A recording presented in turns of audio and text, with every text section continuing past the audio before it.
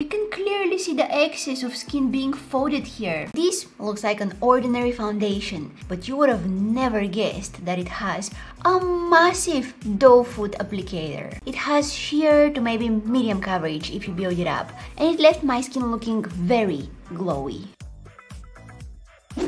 Uh, no. This, my friends, is liquid powder and they also sometimes call it water powder. First, it mattifies the skin so much, I went from super glowy to extremely matte. Second, it blurs the texture of my skin so well, it almost looks like I have a filter on.